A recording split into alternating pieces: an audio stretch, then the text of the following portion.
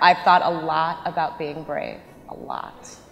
It's the number one thing I'm talking about right now, and it's the one thing I'm trying to leave with people to be brave.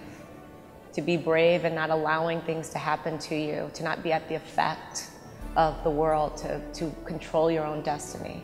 To be brave in speaking your truth, to be brave in controlling your own destiny, to be brave in trying to do the impossible. And when you are brave, you feel fear.